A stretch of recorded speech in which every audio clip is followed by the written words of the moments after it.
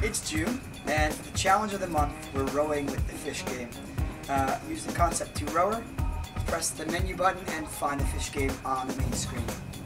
Rowing has three phases the catch, the drive, and the finish. With the catch, keep your arms straight, shoulders level, and shins vertical. Start the drive, pressing with your legs and hands pulling straight.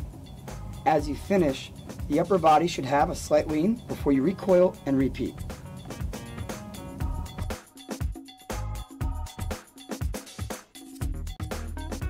With our fish game, you are the fish on the left side, row faster to elevate, and go slower to swim downward.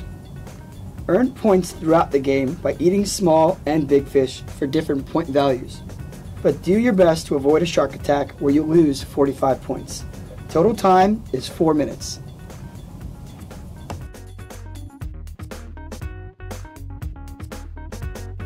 June is Men's Health and Wellness Month.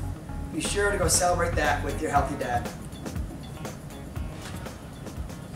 Happy Father's Day!